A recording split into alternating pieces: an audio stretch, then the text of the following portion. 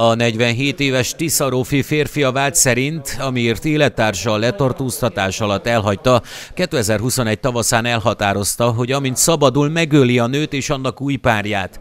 A tervek szerinti előkészületeket 2021 áprilisában meg is tette, fegyvert próbált szerezni.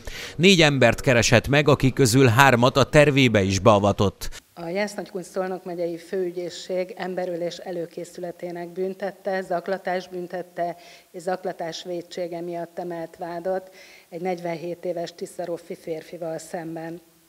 A vádlott azért, mert fogvatartása idején az élettársa elhagyta, 2021 tavaszán elhatározta, hogy megöli a volt élettársát és annak új párját. Ennek érdekében több előkészületet is végrehajtott, többek között négy embert is megkeresett, hogy fegyvert szerezzen. Az egyiküknek még a házát is felajánlotta cserébe.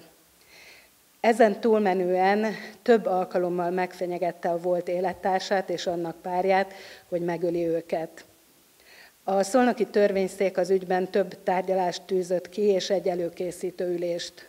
A vádlott az előkészítő ülésen tagadta a bűncselekmények elkövetését, illetve sajnos a tanúk több alkalommal szabályszerű idézés ellenére nem jelentek meg a tárgyaláson, ezért került sor többször is a tárgyalás elhalasztására. A legújabb tárgyalási időpont az ügyben 2023. január 10 napján lesz, amikor a bíróság ismételten megkísérli a tanúk kihallgatását.